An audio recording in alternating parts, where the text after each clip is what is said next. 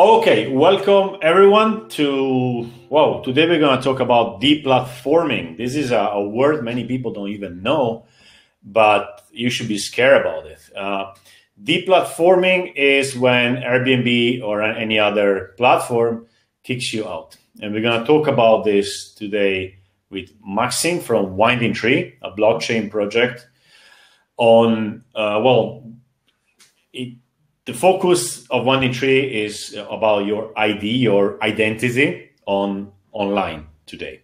Um, just a bit of um, context here. Uh, Winding Tree uh, has done an ICO about two years ago. An ICO is when you collect money through cryptocurrencies, and I participated in this ICO. Uh, I think I invested an Ether, which at the time was maybe four, five, six hundred dollars. Then it went up to a thousand four hundred dollars, I think, and then it went down to nothing, and then now it's what 350, 380.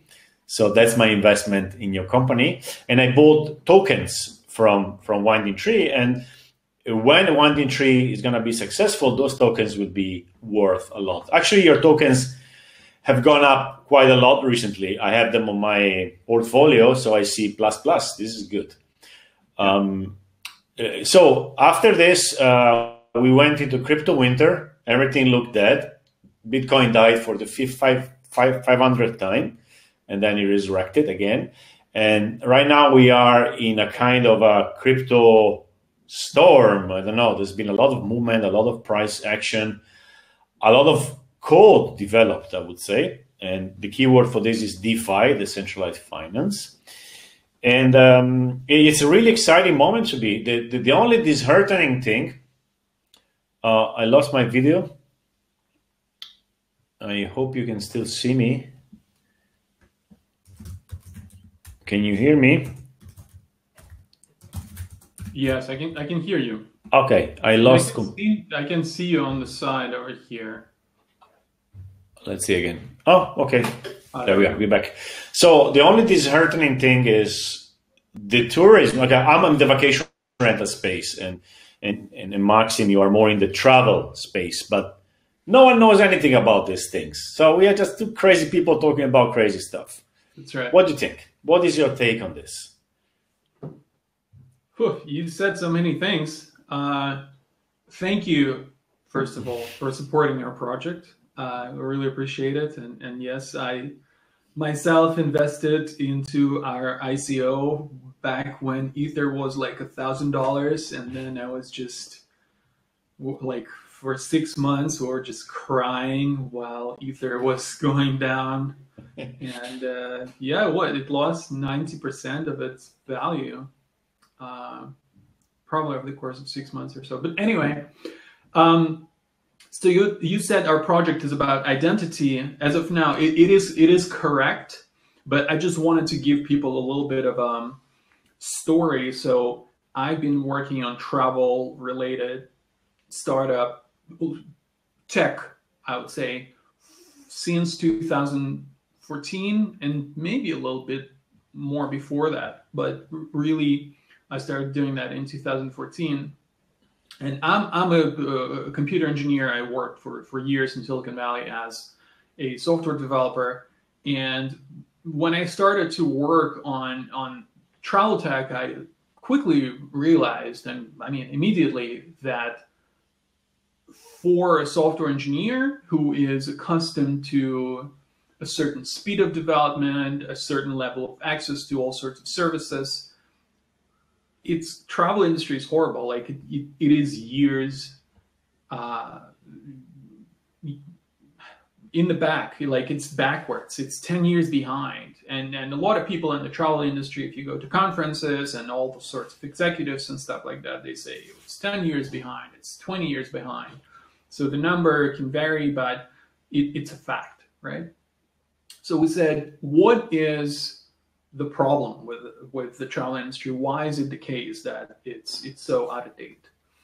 Uh, and it's uh, it was I started doing a little bit of research while working on on one of my uh, travel tech startups, and we came to a conclusion that centralization of um, I would say data streams in the travel space is what leads to um, outdated tech and lack of innovation, high commission fees. And of course, I'm talking about this problem of big OTAs and GDSs that literally, like, you don't even know as as a a mere mortal, as a person who maybe even loves to travel and goes places all the time, you're not aware that uh, every time you book a hotel on Booking.com, you pay 20% commission fee to Booking.com. Uh, maybe 25 sometimes. Again, numbers can vary. It could be maybe as low as 5 or 10 and up to 25. And again, when you book an airline ticket, the same problem. You pay uh, a hefty commission fee. Um, and all those companies that sit in the middle, they take this rent they do not necessarily provide a great service to you and and in some cases in many cases and that's what we keep hearing from hotels um, how companies like expedia well they introduce all sorts of inefficiencies into this whole transaction right so, so you're okay, saying so the inefficiencies are there because they allow these companies to make money absolutely it is true. It is true, and and they take that rent. I mean, I mean that's how it works today. You know, they are able to collect that rent because they do provide hotels with business. But the problem is, I don't have a problem with companies that bring business to you. Absolutely not.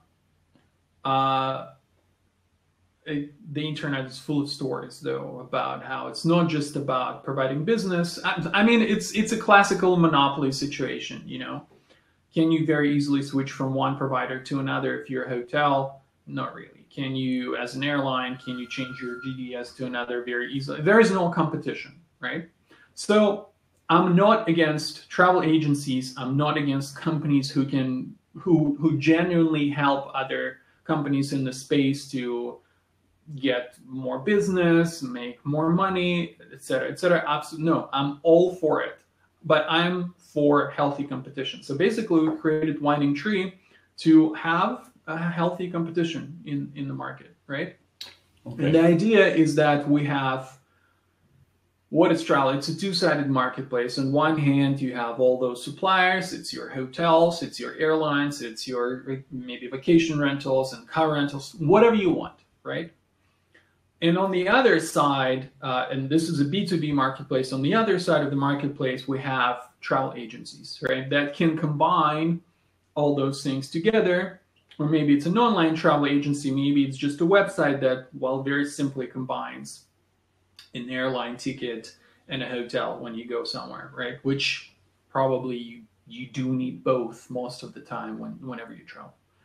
Um, so we're thinking, okay, so we're building this platform basically so that there's not just Expedia and Priceline, two companies that you cannot actually, you know, switch back and forth uh, one from another uh, very easily, and therefore you're in sort of monopolistic situation where they completely control you and they can tell you, well, yesterday was 20%, today is 25%. What can you do? Nothing. Deal with it, right? So we're saying, well, what if there was a thousand travel agencies on this side competing with each other uh, per, and competing for the users and uh, competing not on price and uh, they do that. They do compete on price by squeezing out the hotel. So basically the hotel is that's the guy that's suffering.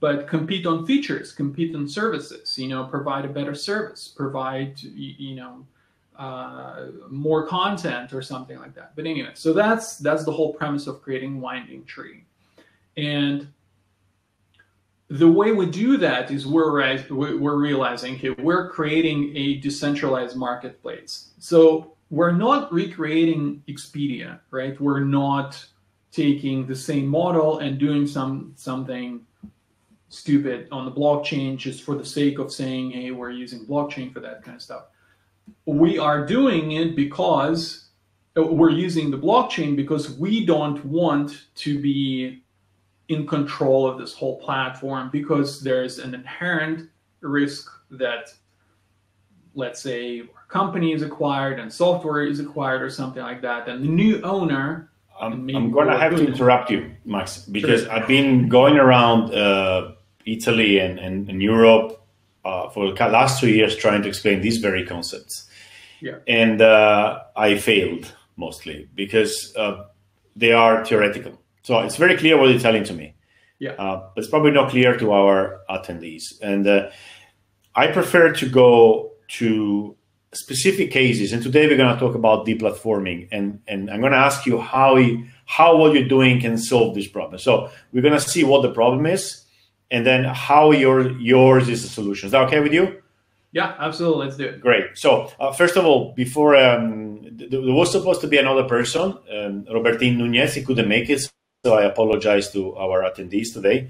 Uh, you can actually, uh, from tomorrow, you can see him and others in the Book Direct show, which is going online for a couple of days, I think.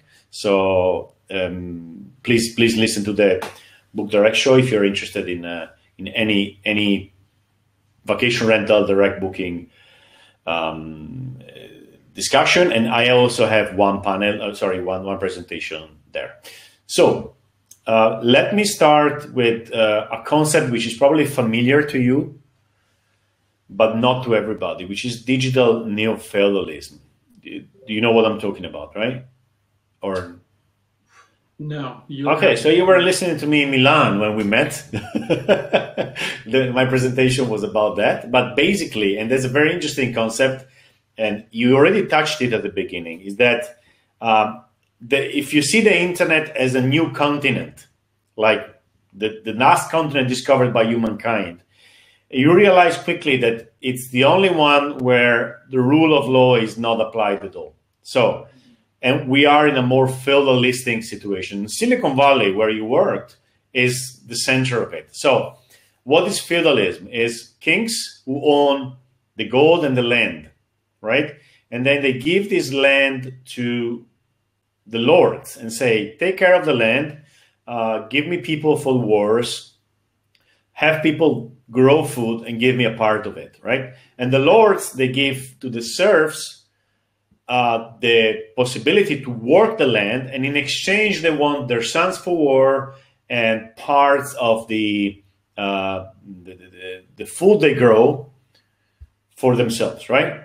So it's a system. It works like kings, lords, and uh, and serfs. Um, the the difference between today's situation is that serfs have zero rights. While today, if you are a farmer, you have a contract which tells you this land is being uh, purchased, it belongs to me, or it's being rented. Right? This is the rule of law. Uh, if you have a piece of land in Prague, the president cannot come and take it away from you if you have a piece of law, right? So we don't have this on the internet. Today, if you are an Airbnb host, you are literally a serf because you have the investors who are the kings, they have the gold. They give the gold to the entrepreneurs, they give the gold to Airbnb. They build a land, and Airbnb is a land where people work on top of it. You're a host, you're working Airbnb's land. And as long as everything goes well, it's fine. You make your money, you give them part of your money, of your earnings, 15%, and and everybody's happy. But then one day the Lord comes into your house and kicks you out for whatever reason. And that's deplatforming. They kick you out of your Airbnb listing. You lose all your listings, sorry, of your Airbnb account. You, you, you lose all your listings, all your customers, all your bookings, and all your reviews, right? And there's no way you can go to a, a, a judge and say, well, I had rights, because you have no rights, okay? Today, it happened, and I posted the link before in Prague. Yeah. This guy was a property manager, I suppose. He's been working with Airbnb for years. He's probably feeding his family out of this. He gets a letter from Airbnb. We, we close your account and they won't tell him why. He's out. His business is destroyed. And there's no judge in Prague who's going to save him because Airbnb is on another continent where there is no rule of law, right? This is deplatforming. I don't know how many people are aware of this, but more and more are getting aware of this because this is happening more and more, right? So that's that's deplatforming for us. That's the discussion we're going to have today. Now, my question for you is what you're doing, especially with org ID, right? How can you how are you going to solve this problem or are you going to solve this problem in a way or or more generally how do you see the blockchain can solve these problems?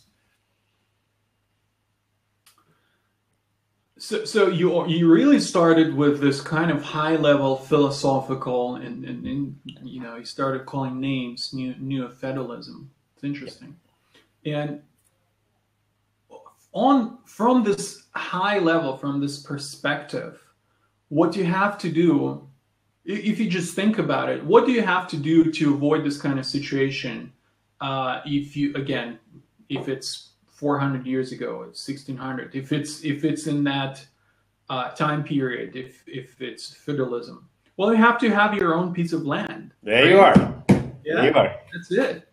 And and you have to have some sort of tools to protect that piece of land from from others if you if they want to take it, right? Yeah. And that's exactly that's exactly what org ID is, right? We're saying here is go ahead and create your own piece of land. And here are all the tools that allow you to protect it. No one can take it from you if you follow the best practices, if you don't give your password to some sort of hacker somewhere, right? So that's that's that's it. So what, what is the difference between creating an account on somebody somebody else's land, like on Airbnb, Booking, Expedia, or whatever, and doing this on the blockchain. Could you explain this to people who are not have not really been exposed to this concept yet, which right. are I would say ninety percent of people in travel? So I'm going to pr- probably use a very simple analogy. So you could go ahead and whatever the company you have, or or maybe you could create your own personal website using one of those website builders, right? So you create an account, it's a login and a password. Um, but again, you you are creating, you're building something on a plot of land that belongs to someone else, which basically means that they can kick, kick you out anytime they want. Or they can, again, maybe you've built something that's really lucrative and amazing. Uh, maybe they can I don't know, do something to you because now that piece of land or, or something that you build on that piece of land is very valuable. So, but basically the problem is they can kick you out, as, as Lucas said, right? Um, another way of doing that, of, of achieving whatever you wanted to achieve, is not to build on someone else's land, but to have your own land, which means have your own server put your website on your own server connected to the internet. Uh, make sure that that server is located somewhere where no one else can physically access it, protect it. And that's it. Your website will never go down. Of course, there's now a question of whether whatever you're doing is legal in that location in the country where you're operating. So maybe, yes, the government can come and seize your servers because you're doing some crazy stuff. So uh, bad for you. But if you're doing some legal things, put it on your own server. It will never go down. You have complete control over it. But in this case, you have to, you should be able to step up and, and f- first of all, protect your server physically, protect your server and website virtually, which is not a trivial task, right? So you have to know about firewalls and cybersecurity and and all sorts of hacks and install updates and and all of that, right? So that your your precious website is not subverted online, right? So and there's that's fundamentally this this trade-off. It's incredibly easy to build something on someone else's piece of land they give you all the tools. They they they make it very very nice and and easy, right? But the downside is they can kick you out. Another one, another the, the alternative is have your own piece of land. take care of your own house. Much harder to do, but there are no downsides such as you know someone can come and kick you out. So, right? so, yeah, let me inject something here. What you're describing with you know build your piece of land like your own website is exactly where the industry is going through right now. Everybody wants to have their own booking website yeah. and get direct bookings. Makes so that's where we are today. After the pandemic, that's that's the focus. Yeah. Because people realize that being on somebody else's land is not good. Yeah. Let's do our own piece of land. What is the next step? The next step is if so many people have the same goal, how about we all get together and say, so what are the best practices? Right? So one guy would come and, and have a conference and the guy would say, hey, I tried this and this and this, I got hacked. Don't do that, right? Which what I'm talking about is open source, right? There are best practices. There are communities that are saying, here is a tool, and it's a free tool that you can use to create your own website very easily. It will be safe, it will be protected as much as it can be. Uh, of course, there's no guarantee. Maybe you do some crazy stuff and you get hacked, whatever, right? But 99.8% probably you going to be safe, right?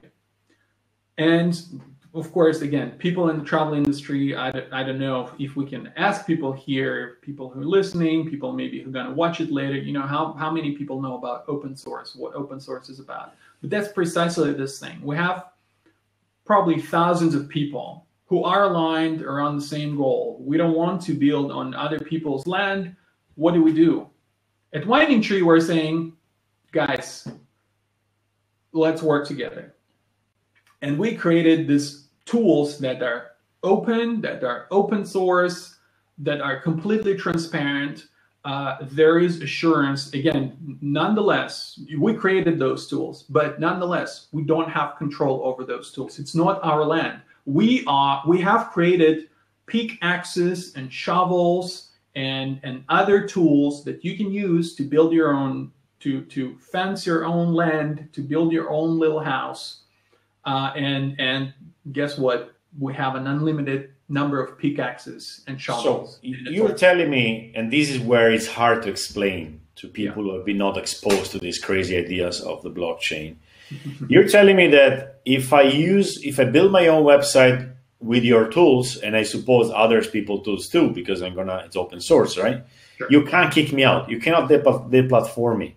You don't have that power. That's, that's, what I'm saying. It's not our land. Um, it's not our land. It's it's your own land. And if we if we continue with this analogy, I've never done this before. I've never t- and, and thank you for this. Uh, you can very easily get your own little piece of land on this thing that's called blockchain, and you have to pay for it. It's not free, you know? Again with the website that you create and put on your own server that's you also not free. You have to pay for the hardware. You have to pay for the internet connection. It's not free. You have to invest your source on the blockchain it's kind of the same concept. Uh, you have to spend a certain amount of this virtual cryptocurrency in order to get your own piece of land in order to get your own sort of domain name, your identity, right? But once you got it, no one can take it from you. And and it's this that is a crazy concept as to, you know, why is it the case that when I have something on the blockchain, no one can take it from me? That's that's much harder to explain. Difficult, yeah. But, but well, if one way I explain this is the Barbra Streisand effect, which is something completely different, but it kind points in the right, the right direction. So Barbra Streisand had uh, a picture taken of her villa in Malibu, somebody you know from the helicopter, and published on the internet. And she she got angry with the internet and told the internet to remove the picture. And what the result was that there were a million more pictures, and these pictures cannot be removed from the internet. So this is the concept of decentralizing data. Uh, in the same way as Barbra Streisand cannot take away this picture from the internet, uh, people cannot take away your own identity from the blockchain. It's completely different. The example is not technically correct, but it, it points in that direction. Um, so yeah, it's basically because my my ID is not in your servers, is not on my servers, is on a 5,000 computer network where no one can, unless all the 5,000 computers agree to turn it off, and that will destroy their whole business and livelihood, nobody can cancel it except yourself, except the person right. who has yeah. the, the password with the keys, right? It's an okay analogy, Luca. Okay, I'll give you that. yeah, yeah.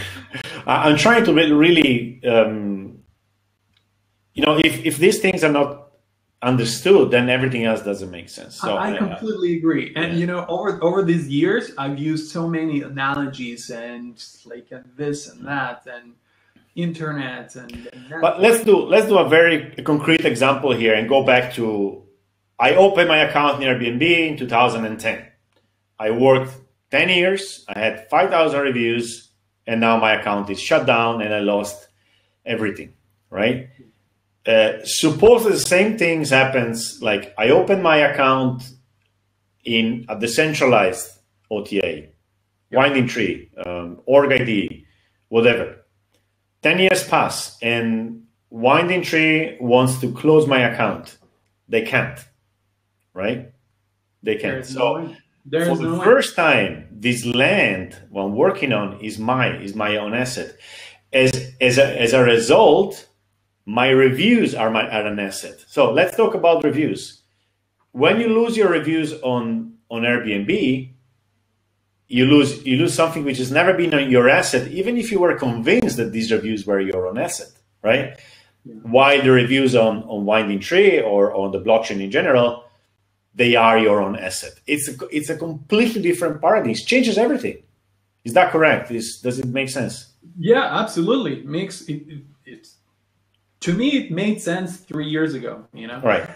To me to me too. Um, well even even even longer. And it, everything for, for, who's listening everything starts from bitcoin. The, the thing that money money we are used to have money issued by the government but there's a constant money is not issued by governments. It, it's an agreement we have as human beings to have something scarce scarce which you can use as a as a mean of exchange. It, everything at the beginning is it wasn't explained to us, right? We always think that everything has to come from above.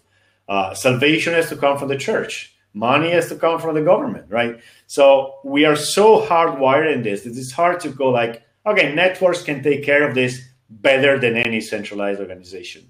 So it's really hard to to understand. So let let go very co- completely here. And I because you showed me before this this this meeting, right? I can create an account, let's call it account on Winding Tree, right. and I can verify my Twitter, my um, what you have, LinkedIn, my website, so I can prove that this belongs to me, and now I have an identity which I only control. Winding Tree only gave me the code, which is open source code to do it yeah, cannot so stop. We only give you the tools. Okay, so how it works. I mean, we use Ethereum, right? And Ethereum, we have nothing to do with that project. It's a, it's it's the separate.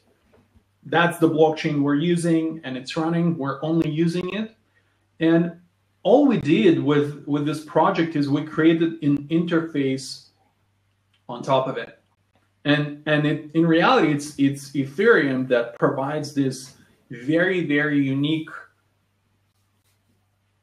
property of a database. So basically, it's a database where you own your own record. You put maybe something. maybe you, you could also. oh, sorry, sorry. Maybe you could also explain what the IPFS is. That's also very exciting. IPFS. Yeah, yeah, yeah. Also, very cool technology that that we're using in the parts of of what. Would, how would you explain it to uh, somebody non-technical?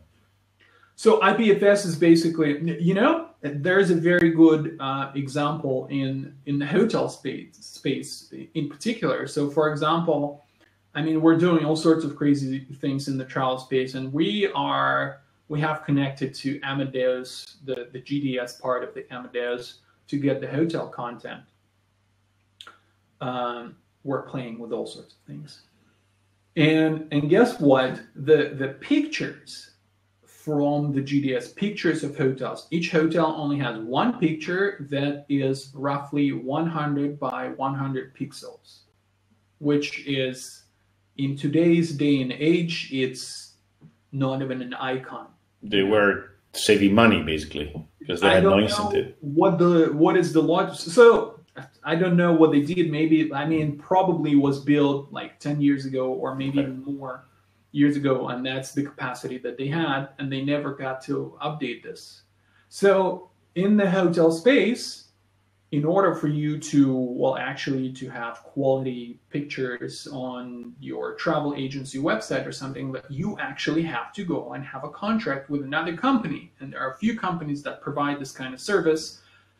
All they do all they give to you is pictures of hotels that you already have access to Oh. through amadeus but without this new contract you cannot do anything because no one's going to buy anything off of you if you don't have good pictures but we are thinking internally with the team uh, we could use IPFS. And basically, IPFS is the same idea. It's not one company, it's not one big computer that has all the hotel pictures. It's thousands of computers. Would you like to participate in that network and, and give this network a part of your computer's bandwidth and processor power and, and storage? You can. And that's how this, this system works, right? So basically, those images are not just stored on one computer, they're stored in multiple computers, and you can access them uh, at any time virtually for free. And why is it?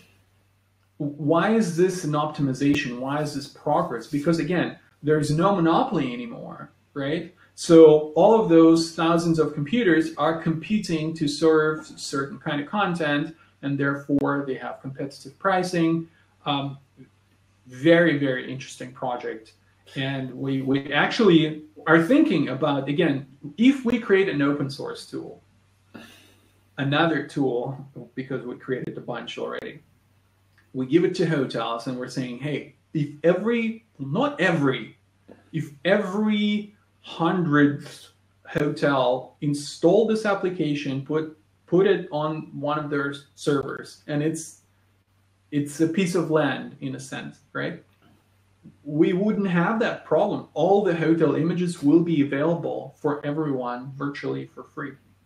There is So you know, the, the an example will be when I upload my picture in Booking, it, it's on Booking servers. Booking can shut it down. Ah. If I upload it on my own server, great, but I have to keep my server up. Yeah. I can upload in IPFS. This picture gets broken in a thousand pieces and goes on ten thousand computers. And when somebody wants to see it, it's just put together quickly, exactly. and- It's yeah. and it's it's, it's out there. It's a bit like a movie on torrent, is it? Yeah, yeah, very So good it- point. it- but I it- don't think it's a good analogy. People will be saying, "Ooh, torrent, it's illegal now." It's illegal, yeah. I, I see Ted Ted Miller is trying to write, um, but the message doesn't arrive. I hope there's no technical problem, Ted. Um, we here. If you want to say something, go ahead. Yeah. Okay. Um, all right. So, oh, okay. That was a long message. That's why. Let, let me see what Ted says. Okay. So my partners and I created the first API the HomeAway pulled from in 2004, the US for our property management clients, 250,000 properties. Amazing. We were able to, because we had several uh, reservation softwares critical to our clients, controlling the last mile of connectivity. We need to move to a next generation, which you are both saying. In uh, short-term rentals, I think the key to achieve scale with blockchain is to have the individual property owner own, control the components of the property, property details, images, reviews, availability, pricing, book direct site, etc. Yeah. Once on the blockchain in this form, a new round of tech could be developed, replacing uh, replacing existing reservation software, service providers, and be pulled via the major OTAs and long tail distribution. Ted, were you lurking on our website or something? Why did you copy our text and, and put it here? Uh, this is exactly, I mean. so, so that's exactly what we were discussing literally yeah. just before the call with Luca. Yeah. That you saying, and that's exactly what you're saying. That's you're controlling all of this different uh, property details. That's exactly what Winding Tree provides, right? That's your identity, the identity of your business. That's the name of it. That's the location. That's some some details about it. The pictures. Of course, you have to control all of that. Like, why would you give up that control? Give it to someone else. Uh, uh, yeah, and with Winding Tree or at Winding Tree, what we've already built is the layers of uh, this new tech that you're talking about on top of that, right? So we already have, I'm gonna put it in the chat, and and this is very very uh, early, but th- there is Glider Travel, which is it's an online travel agency that we've built. The difference is that it's completely open source, right? And maybe it looks like it doesn't look like it's the best travel agency out there for now, but it's open source. Do you want to like again, let's collaborate, let's participate, let's let's use all of those best practices. Um, with Glider, what we try to show is that how easy it is to create travel agencies on top of our network. And anyone can take the source code of travel of Glider Travel and create their own OTA. More than that, right now we are working on a project that would give hotels and we haven't talked with the team. Well, we discussed it with the team. We haven't had uh, planned this functionality yet, but I don't see a big difference between, let's say, a small hotel that has 20 rooms and a, a, vacation rental manager that has 20 properties that are roughly in the same location. It's the same, right? So we're creating open source software for this kind of uh, organizations and it's going to be well first of all it's going to be open source. Second of all we're going to host our own version of that software that will will be available for very very cheap. Um, and you know we looked at all the software that's available out there. It's hundreds and hundreds of euro per month even if you're a small hotel. That's ridiculous. We want to have it available to make it available for 20 bucks a month. That's all you need to host the amount of informa information. And we'll be using all those crazy things, blockchains, the IPFS, to optimize all of that, to cut the costs. And it's entirely doable uh, already today. Have you been following DeFi? I suppose so. I not too much, you know, okay. a little bit. Okay, uh, for, for our listeners, DeFi is decentralized finance, um, which seems completely unrelated. Uh, it's what's happening now on the blockchain. Um, it's all about lending and earning interest and stuff like this. But the, the really cool part is that we are seeing projects popping up from nothing simply by getting pieces of code because everything is open source, right? So uh, if I want to do a, an alternative to Booking, I cannot go to Booking and say, give me your code, right? They are silos. They are closed. So I have to start over and no investor will ever give me $10 billion to do that, right? So, but in, in open source blockchain, everything is there. So you see a company is doing something and then another company is taking the same code and they can do that. That's the, the basic agreement we have in open source. Take my code, fork it, do your own thing. We're gonna all be stronger because of that. So people take a piece of this company for the decentralized exchange, so for for a software to exchange money, uh, a piece from this company for the governance, a piece for this company for something else, and in a week they put together a project which is the sum of all the other projects and they launch a token. And the token is interesting for the investors so people start buying the token and put money and they launch a Discord server so people start discussing. And I've seen, I've seen projects starting from zero and getting to a billion dollars in value, not in. I'm sorry, in in uh, uh, well, let's say in money transacted in a week, right? And uh, and that's the concept of Lego. Like you, we're building the blocks. So Max is building some blocks. Somebody else add the blocks, and maybe one day somebody comes and puts them together in an OTA, and then somebody else is going to take the same blocks and make a slightly different OTA. So what Max is building is not for himself. It's not code they keep for themselves. It's for for everybody. Okay, and the, the, the tweet which really cemented my idea on this was a couple of days ago, and they said, "Short silos, long networks." Once network effects kick in, and it may be funny to hear that today, now this in 2020, Airbnb, Booking, Expedia, they have no chance, zero. There's no way they're gonna be able to, to produce that kind of code that fast and experiment in so many ways, in parallel ways, to bring value to the market. There's no way. They are already on the defensive um, because of the pandemic. But give it a few years. If everything goes well in blockchain, they will look like uh, kind of dying dinosaurs. And we, we are starting to see this with Coinbase. Have you seen that um, Uniswap as which is a decentralized exchange, has gone over Coinbase, which is a centralized exchange with billions of dollars in in a matter of months. Uh, in June, Uni, okay, just for, for the listeners, Uniswap is a place where you take your Ether and exchange it for maybe LIF, which is the token of Maksim, of other other other cryptocurrencies, right? And you do this interacting with a crypto with a with a protocol, not with a company. It's just there, right? Um, and Coinbase is, a, is an exchange like a bank. You send your Bitcoin and you can exchange them for Ether and whatever. So for many years, Bit, uh, crypto, um, Coinbase was the biggest. Uh, is worth billions, right? Yeah. Uniswap had 20 million of liquidity in June, and then he has 2 billion today.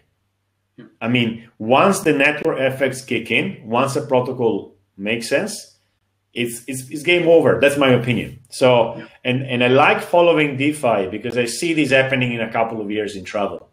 Yeah. And I'm just there waiting for this to happen. This so, so this is exactly the moment that we are prophesizing in travel you know? Like we need a moment like that. And but in order for us to arrive to that moment as you said we have to have those building blocks which yeah. today in travel they almost don't exist. I mean the only other open source project in the travel space that i know of is yours.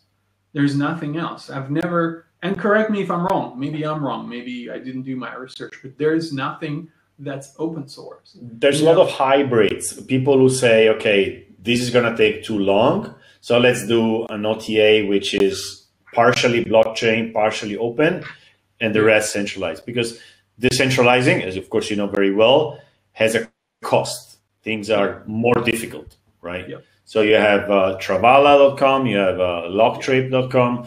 Yep. They are trying to solve the problem today why we with the open source approach uh, we're trying to solve the problem when it can when it can be solved basically I, I really don't understand what kind of problem they're solving today though. They're solving a different problem that's i don't think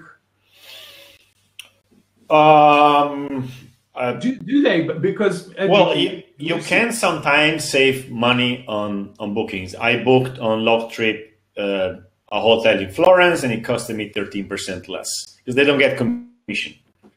Uh, but then I, have done a research recently with both of them, and I would say it's a hit and miss. Sometimes it's more expensive, sometimes it's the same, sometimes it's cheaper. Yeah. Uh, it's still much more comfortable to use Booking.com, of course, today. Um, so it's it's not well. I know where they come I mean, from. yeah. I, I know. I'm sorry to interrupt you. Like I know that both those projects are simply using the incumbent's infrastructure, the infrastructure yeah. of I don't know, booking.com, and they're yeah. paying those commission yes. fees and yes. stuff. And yes. if there is no commission fee, that they, therefore they're subsidizing it somehow, or like I, I don't know what the games that, that they're playing there, but like it's all the same. I mean, there are many other travel agencies that have done exactly the same. Yeah. And and I don't know enough the hotel industry to really understand what happens. I think that Booking.com was in difficulty, and they said, "Okay, here you are, some uh, inventory," and they are kind of reselling it uh, in a different market with some token incentive, etc. But this is not real, uh, in my opinion. That's not the solution. The solution must be much more disrupting. To their defense, and especially Locktrip, which I know personally, but I don't know Travala, it's a process. Like we decided to go decentralized route, yeah. From the from the beginning, they, they say, okay, let's start what we can do, and we're gonna decentralize later. We don't know who's gonna bring solutions. So, I mean, it's good. It's experiments. All of us. I, I completely agree. I completely agree. Experimentation yeah. is is that's what we need, and that's what that's another point. That's another thing that we want to have in the trial space because innovation is equal to experimentation. It's just, yeah. you know, how many of those, as you're saying, hits and misses uh, can we have? If it's 10, then you have this rate of progress. If it's 100, then it's slightly bigger. If it's a 1,000, like we should be able to experiment. We should be able to create those companies fast. We should be able to to create exactly like we do in the in the blockchain space right now, where as you're saying, those projects are being created at insane rates. And at the same time you know many of them fail very very fast but that's fine. That's totally fine because those the genuine ones are, are going to survive are going to be good but we have to spend and expend our energy on on that kind of experimentation. And of course, you know, there is no illusion. that's it's in the name. It's startup. What is a startup? It's an experiment. Yeah, if you but, found yeah. a scalable business model, it's not a startup anymore. The biggest difference with the classic startup, Silicon Valley startup, is that they, you know, they sit down, they write code, and then they shut down, and the code is gone mostly. Some of them open source it, right? Uh, whatever we are doing is going to be there. It's in GitHub today, right? So if any blockchain project fails, uh, they they just push the the whole ecosystem a bit farther. They failed. I mean, the company dies, but people don't die, right? So they're gonna go around doing other things. So everything is moving ahead uh, much faster than startups in a way. Because if you have those startups competing on the I don't know scooter space, startup fails, whatever they did is gone. I mean, yeah, we can learn a little bit from them, but they don't leave back to the community the code or we don't see what happening you know internally how the money went around. We, we lose all this very important data for our experiment for our lab- laboratory but in blockchain it, it's by default open source. So that's why it's uh, in the long term i think it's much more powerful than the classic startup yeah, absolutely, completely agree. It's it's it's a black hole in those. What, what should do? What should what should somebody like today do? Somebody from the vacation rental or travel industry say, "Okay, guys, interesting what you're saying. Can I do something? Or what what can I do with Winding Tree?" That's that's a really really it's a million dollar question. So we're still trying our problem today and you know i'm being completely open and completely honest we're going this centralized route that by definition is it's harder right? I mean today you can go you can register on on booking.com on expedia uh, and, and they will bring you business and that's that's great. You know in and of itself it's amazing and if it works for you, continue doing that. For many folks, it doesn't work. They're saying the commissions, uh, uh, commission fees are very high. Again, there's the, the problem of deplatforming. And if we're talking about Airbnb, uh, you know, I, I, remembered I was reading an article, and it's not just about the hosts; it's also about guests. Guests guests are being deplatformed from Airbnb and kicked out without uh, even an opportunity to to be allowed back in their lifetime potentially you know? So i've read stories about that. So those are the prompts so we created uh, this identity system for, and we're targeting travel companies as of now, right? So basically, the idea is that you can come, you can have your own piece of land, you can build on top of that um, whatever the product, or you can offer your product standing on your own piece of land that no one can take from you. But the way you have to offer that product on our platform is that, let's say, your hotel, the last step of our registration process is we're saying, okay, hotel, great. So you gave us all of your information. How can travel agencies book your rooms for their customers now? In other words, give us your API and probably people who are watching this they understand what an API is for for many people probably in the travel industry most of them understand what an API is, but providing an API on an automated platform like this, you know, as a hotelier, if I was a, a hotel manager or general manager or something, I wouldn't be able to do that. I simply don't have the technical capacity to do that. Um, if these companies are using platforms or property management systems like Oracle, where integrating with those companies.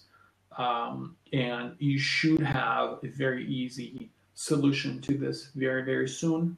Not, not yet. It's not available yet. And unfortunately, and it's it's baffling me every time I encounter a hotel that's managing their stuff in an Excel spreadsheet, or maybe in some cases even with a pen and piece of paper, right? So for those, we are, uh, as I mentioned earlier, we're building open source tools for them so they don't have to do that. And, and I personally promise it's going to be extremely cheap, extremely affordable, usable. Uh, it's going to be, be a, a modern application that's very easy to use. And through that, we are planning to breach basically this product market fit conundrum through that, we were planning to obtain inventory from the small people, for, for small companies, small organizations, small hotels. Um, and, and again, it will be one button where they're going to say, I want to receive bookings through Winding Tree channel automatically into my, what we call an inventory management system, because PMS is an acronym has to die. Sorry. so let's see what Ted says. Uh, he says the open source and blockchain tech needs to be also focused on the lower building on the lower building blocks, like replacing reservation software and APIs, uh, where the data currently resides and is being pulled from. Uh, an individual uh, short-term rental owner, tech needs to be very simple to be adopted. I, I definitely agree. I, exactly, absolutely. Yeah the, the, the, building block thing. Um, I was talking before to, to Max. Um, uh, I, I, basically gave up on trying to come on the market with a full fledged uh, OTA, which is as good as Airbnb, soon. Okay, that's not going to happen before two or three years at least. Okay, but what we can do today is provide single softwares, let's say, single software which can solve problems and. Uh, those building blocks, right? So Max is working on uh, protect your ID, have your own ID, your own piece of land in a metaphor.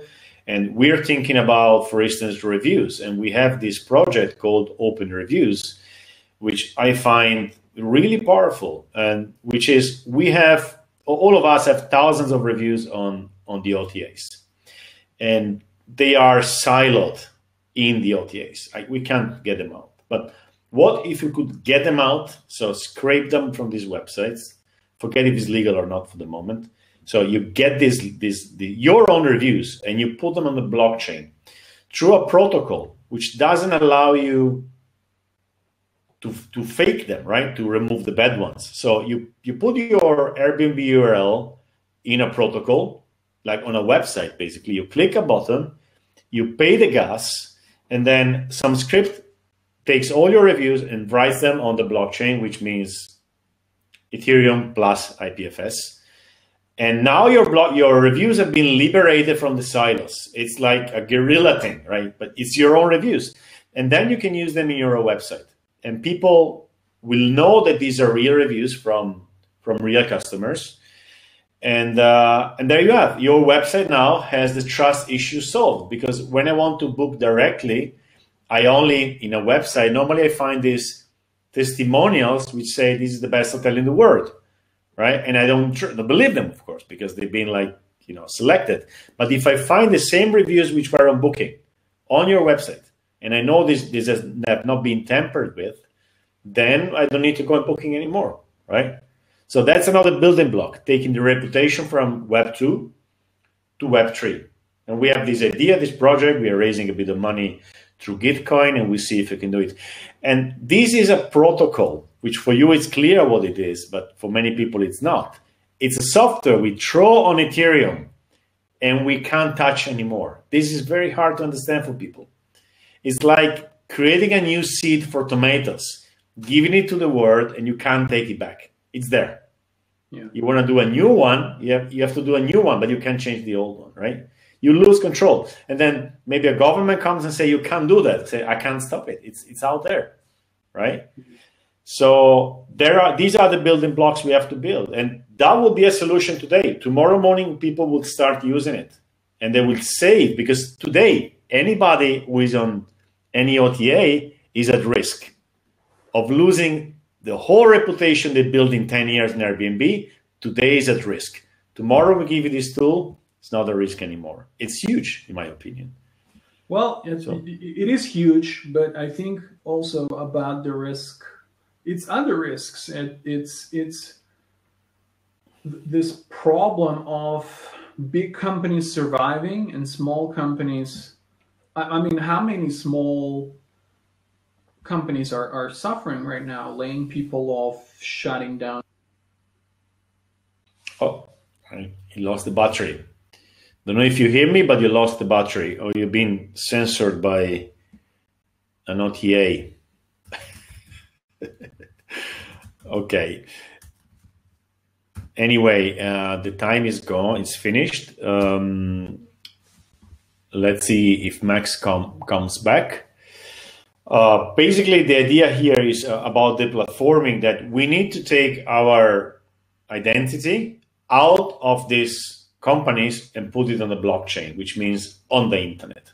And then we own it. That's the whole idea. How we get there, well, we get there slowly. It's going to take time, but this is the the, the direction everything is uh, is taking. Okay. Um, well, we have a couple of minutes. Uh, there is the Book Direct show tomorrow. Um, go and check it if you think is, is interesting or relevant to you. And uh, yeah, and there you are. I got Max. Let's see, he's back. Okay. Max, let's see if you can go back. I see you now. There you are. Okay, perfect. Can you hear me? So go ahead. Yeah. No yeah, problem. no, I was talking about the problem of, and let me see if I can turn on my my laptop camera. Should, oh, the battery of the camera is going. Okay. Oh, yeah, there you the battery of the camera is it's overheated or, okay. or oh, exhausted maybe. You got colors now. so um, I was talking about the problem of uh, how these big companies, you know, small companies were paying for a long, long time all of those high commission fees for years now.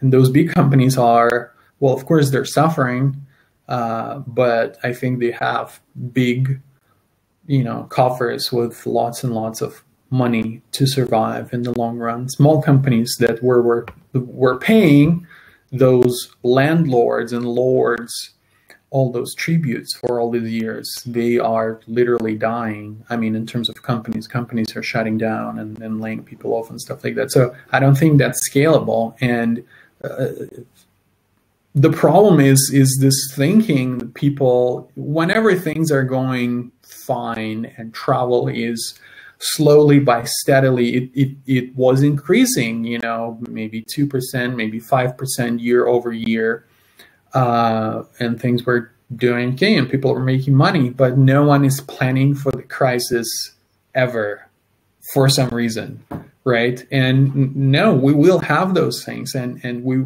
have to plan. Uh, you know how our businesses are going to work in a sustainable way. Yes, there will be another crisis in ten years. It's going to be related to something completely different, to some alien invasion or something like that. But it's going to be here. How are we going to overcome this so that we don't, so, so, that we survive and not just big companies that, that survive, you know? So that's, that's my vision too. But along the same lines and, and the result is the same. We have to adopt these decentralized technologies. We have to learn how to use these tools that are there, are out there for free that and you can use those free tools to to build your own piece of land and and to be your own master basically. So yeah that's the idea. Perfect. Perfect. Thank you so yeah we can we can stop it here. It's been great. Um, thank you everyone for for being part of this. And thank you max. We're gonna keep talking about this um, let's do it. the the ORGiD idea to to bring it as soon as possible to to everybody. Great. Thank you, everyone. Thank you, guys. Thank you. Bye. Bye. Bye.